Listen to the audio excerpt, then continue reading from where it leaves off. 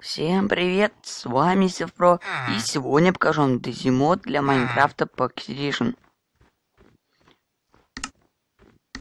Ну, после установки данного мода в нашем мире появится оружие, с помощью которых мы сможем убивать.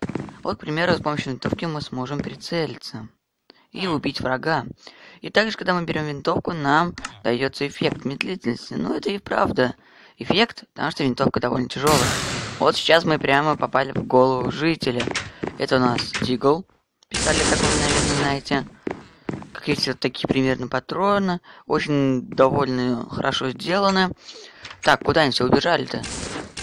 Вот, видите, прикольно все работает. Звуки тоже нормально работают. Так. И от него пули отскочили прямо в нас. Это у нас Эмка. Тоже стреляет. Ну, давайте мы убьем его. Все, убили. Интересно, если в режиме выживания нас в пулю будут отскачивать. Так, это у нас АК-47. Так, ну, как всегда, давайте выстрелим вверх и посмотрим, что будет потом. Это у нас дробовик. Стреляет дробью. Ну, сейчас он что-то перестал, перестал стрелять.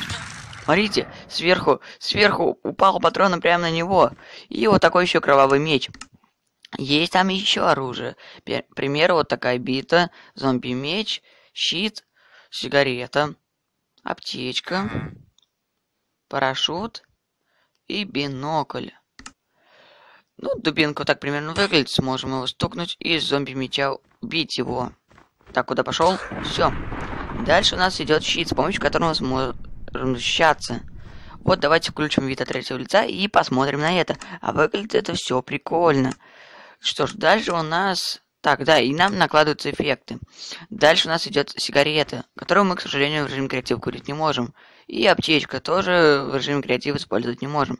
Это парашют. Наверное, все знают, как нужно использовать парашют. Но для этого мы должны забраться на высоту и, как так сказать, прыгнуть. С помощью него мы будем падать медленно и не получим от этого урон.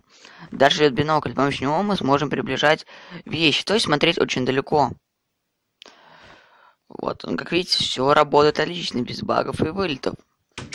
Ну что ж, на этом все. Ставьте лайки и подписывайтесь на канал.